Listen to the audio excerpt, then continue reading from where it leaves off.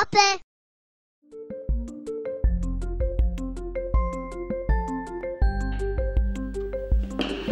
The experiment with the swirling magnet is quite simple, but pretty amazing. We have the magnet fixed in the middle with the red pole out. And we can bring another magnet into the experiment with the white pole out. And let's see what happens. Whoa! See? The white magnet is attracted to the red one. But it returns the poles the other direction, red to red.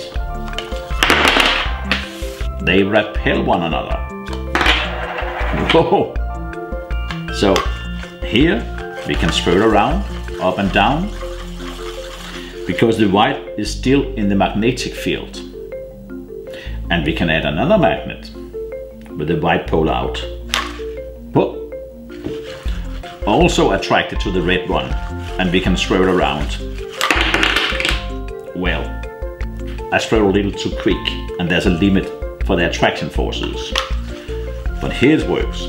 And see, there's a gap in between the two white magnets because they repel one another. They are still both connected to the red one. We have a third magnet, still repelling and attracted to the red one. Pretty cool.